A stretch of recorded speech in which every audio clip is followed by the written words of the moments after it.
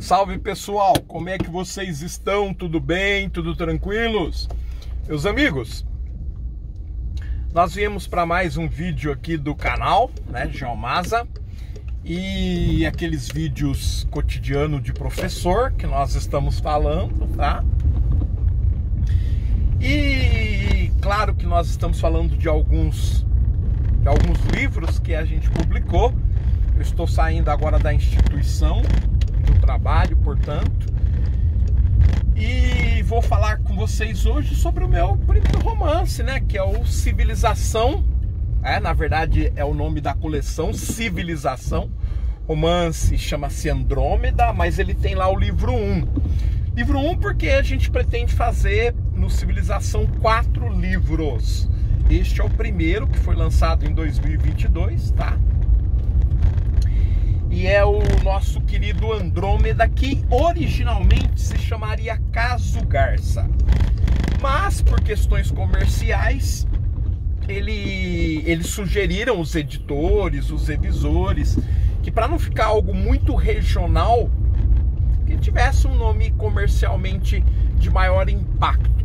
Por isso a denominação Andrômeda, né, que é um nome forte é o nome de uma galáxia, a principal galáxia da nossa região, do espaço, né, chamado Grupo Local, Grupo Local de Galáxias, a famosa M31, porque foi a 31 primeira é, galáxia classificada pelo grupo de Messier, que foi um dos primeiros mapeamentos realizados é,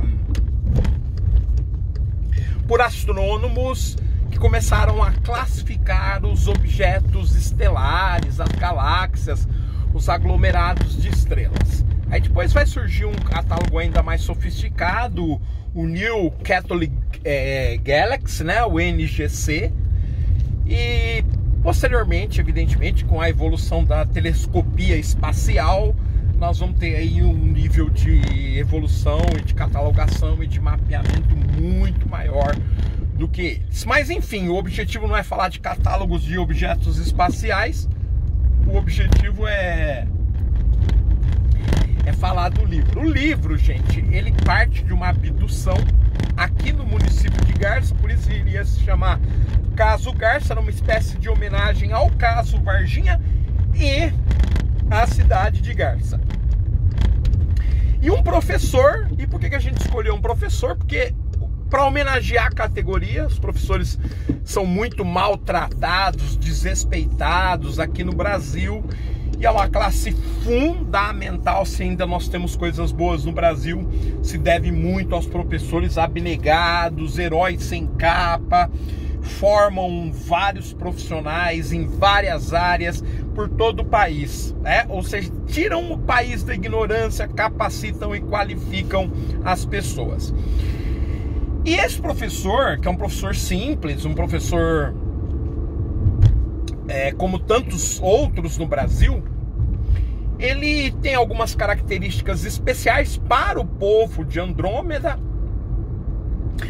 que vai com o tempo perdendo a emoção e vai ficando muito racional, pouco emocional e eles começam a ser ludibriados, enganados. É, há muitos grupos terroristas, muita corrupção que surge exatamente porque eles perdem, digamos, a malandragem, a esperteza por serem muito, muito racionais.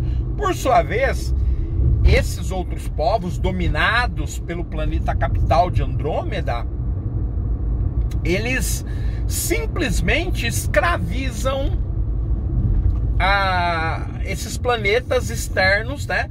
É, Andrômeda possivelmente tem um trilhão de estrelas, ou seja, duas vezes e meia mais do que a nossa galáxia Via Láctea.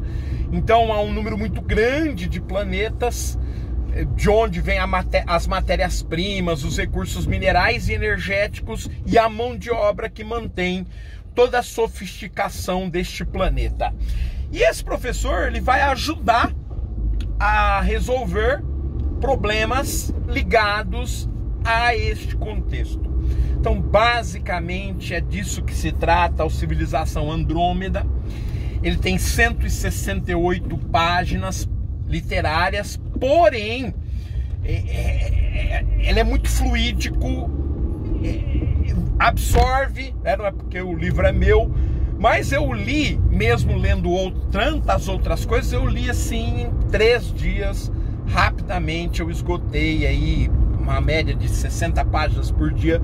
Eu li rapidamente o, o Civilização Andrômeda, ok?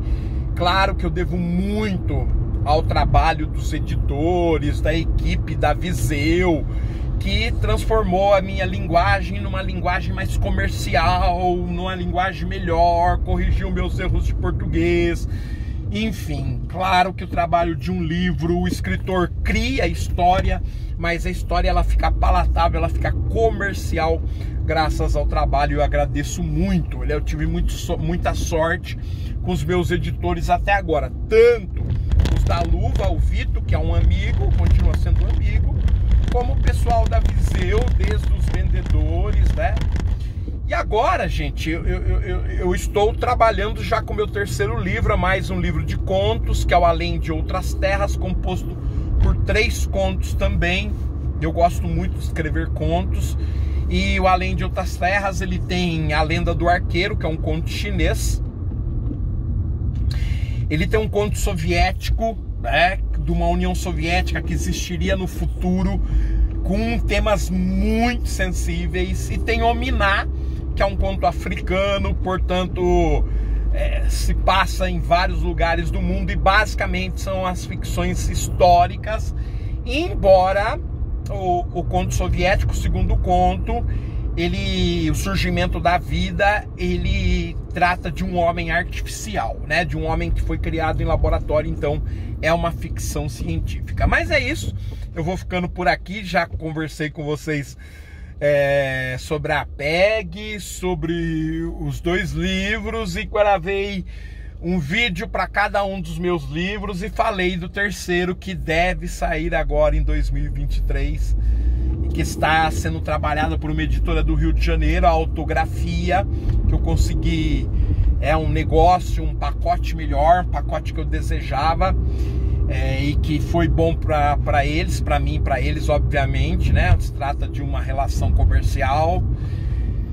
E é isso, pessoal. Eu, eu os vejo oportunamente para poder falar de outros temas que não somente de livros, porque se trata do cotidiano do professor e eu pretendo, evidentemente, é, trabalhar é,